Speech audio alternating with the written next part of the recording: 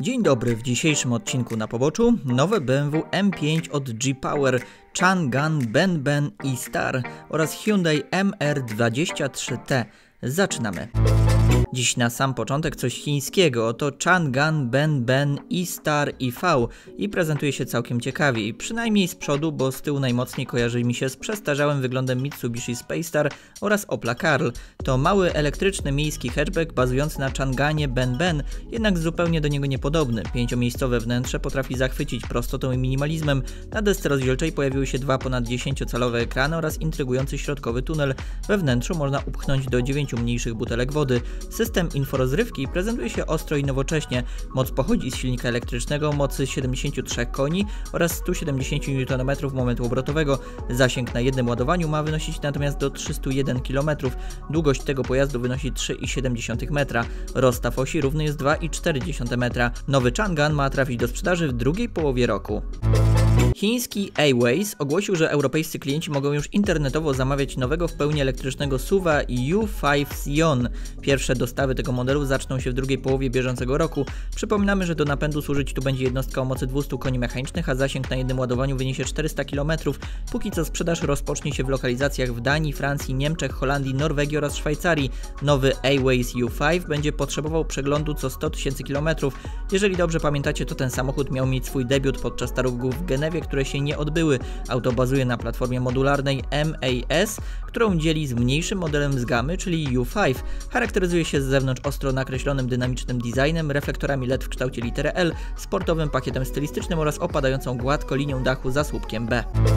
Porsche kontynuuje rozwój linii odświeżonej Panamera, o czym świadczą nowe zdjęcia przyłapanego na drogach egzemplarza w wersji Sport Turismo. Oprócz delikatnego kamuflażu trzeba się mocno skupić, żeby zauważyć różnicę w stosunku do obecnego modelu. Rzecz jasna facelifting nie zmienia kształtu karoserii, a jedynie drobne elementy. W skład pakietu odświeżającego wchodzą przeprojektowane przednie i tylne zderzaki, jak również światła LED z nową sygnaturą. Przyłapany prototyp to akurat jeden z dwóch wariantów plug-in hybrid. W ofercie są bowiem 4e Hybrid oraz Turbo SE Hybrid. We wnętrzu również zmiany będą symboliczne, a największą z modyfikacji będzie zmniejszenie drążka do zmiany biegów z tradycyjnej wielkości do selektora, który znaleźć można w nowej 911. Obecne Porsche Panamera dostępne jest całkiem szeroką ofertą silnikową. Mamy tu benzyniaki 2.9 330 440 koni oraz 4.0 460 i 550 koni, a na dodatek wspomniane hybrydy plug-in 2.9 462 konie oraz 4.0 680 koni. Dla każdego coś dobrego.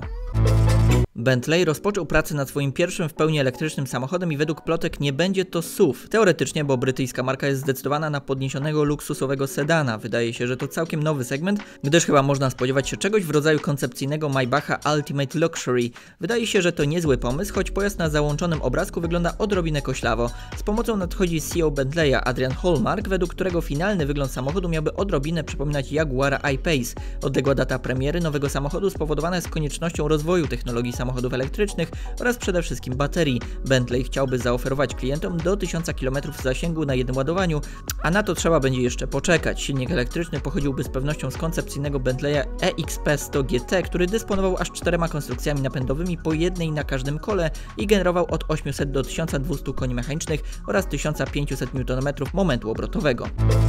G-Power prezentuje kolejny projekt, tym razem w oparciu o BMW M5 obecnej generacji. Oto samochód nazwany G5M Hurricane RS. Jaką moc mamy do dyspozycji? 840 koni mechanicznych oraz 1050 Nm momentu obrotowego, a to wszystko wyciśnięte z silnika 4.4 Twin Turbo V8 z nowymi turbosprężarkami, całkowicie nowym układem wydechowym i kilkoma nowymi częściami. Rezultat jest zdumiewający. Ta M5 potrzebuje jedynie 2,5 sekundy do osiągnięcia pierwszej setki, a prędkość maksymalna wynosi tu 350 km na godzinę, przy czym fabryczne BMW M5 Competition przyspiesza do setki w 3,3 sekundy. Ogromna zmiana, która swoje kosztuje. Koszt nowych turbosprężarek to bagatela 6000 euro, do tego nowy układ wydechowy za 8500 euro oraz świetnie wyglądające 21-calowe aluminiowe koła za 10 tysięcy euro. Doliczamy jeszcze dla kontrastu pomarańczową folię na nadwozie za 4000 euro. Wisienką na torcie będzie wentylowana maska za 5000 euro. Bierzecie? Hyundai niedawno był bardzo otwarty w kwestii wprowadzenia do oferty samochodu sportowego z centralnie montowanym silnikiem, a teraz interesujący prototyp został przyłapany na lawecie. Samochód jest ozdobiony grafiką z napisem MR23T. Większość nadwozia jest spójna z obecnym Hyundaiem Veloster N, ale zwracają uwagę poszerzenia w tylnej części nadwozia. Jest bardzo możliwym, że widzimy właśnie samochód, w którym silnik znajduje się za kabiną pasażerską. Plotki głoszą, że tajemnicza nazwa MR23T odnosi się właśnie do centralnie montowanego silnika, napędu RWD oraz konstrukcji napędowej turbodoładowanej 2.3 z bezpośrednim wtryskiem. Obecne modele sygnowane logo N wykorzystują do napędu czterocylindrową turbodoładowaną jednostkę o pojemności 2 litrów i mocy 271 koni mechanicznych. Większa jednostka, czyli wspomniane 2.3, mogłoby dysponować zatem mocą około 320 koni mechanicznych. Jest również całkiem możliwym, że ten prototyp posiada do tego wspomagający silnik elektryczny o mocy 80 koni mechanicznych. Łączna moc zestawu miałaby wynieść zatem aż 390 do 400 koni mechanicznych. Bardzo to wszystko interesujące i możliwe. Wiadomością podsycającą w tym wypadku plotki jest ogłoszone w 2019 roku porozumienie pomiędzy Hyundaiem a Rimac Automobili. Następna generacja Forda F-150 nie zadebiutuje zgodnie z planem i wiecie jaki jest powód tej decyzji. W sieci pojawia się jednak coraz więcej informacji na temat tego samochodu, a niedawno przyłapano zakamuflowane prototypy, które zdradziły nieco więcej szczegółów ze stylistyki. Na ich podstawie udało się stworzyć wizualizację prezentującą najbardziej prawdopodobny wygląd nowego króla pick-upów. Gama jednostek napędowych zaczynać się będzie od benzynowego 3.3 Ti VCT V6 o mocy prawie 300 koni mechanicznych. Oprócz tej konstrukcji pojawi się też 2.7 EcoBoost V6 o mocy 325 koni mechanicznych mechanicznych. Wyżej w hierarchii znajduje się 3,5 EcoBoost V6 o mocy 375 koni oraz 637 Nm i 5.0 V8 400 koni i 542 Nm. Później dołączy też wersja hybrydowa o oznaczeniu TBD z elektryfikowaną jednostką benzynową 3,5 EcoBoost V6. Za niedługo Volkswagen Tiguan oraz Arteon mają się doczekać liftingu. Świadczą o tym wielokrotnie przyłapane zakamuflowane prototypy tych samochodów z delikatnymi, odświeżającymi zmianami. Przy okazji w gamie modelowej pojawią się też nowe wersje silnikowe. Zarówno wspomniany Tiguan, jak i Arteon występować będą też w wersjach plug-in. Można się spodziewać parametrów rodem z Passata GTE. Samochody będą napędzane zatem benzynowym silnikiem 1.4 TSI współpracującym z silnikiem elektrycznym. Zasięg na jednym ładowaniu wyniesie jedynie 50 km.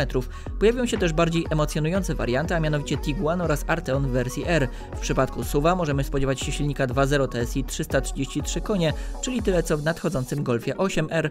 Kwestia Arteona R nadal jest sporna. Krążą plotki, że auto to otrzyma 2,5-litrowe TFSI z Audi, 2.0 TSI 350 koni oraz nowy silnik VR6. Opcja ostatnia jest w tej chwili już najmniej prawdopodobna. Wkrótce zadebiutuje jeszcze Volkswagen Touareg R z napędem hybrydowym plug-in i benzynowym V6. Volkswagen Arteon natomiast otrzyma też wersję Shooting Brake. Dziękujemy Wam za dzisiejszą obecność. Widzimy się dziś wieczorem o godzinie 20. Do zobaczenia.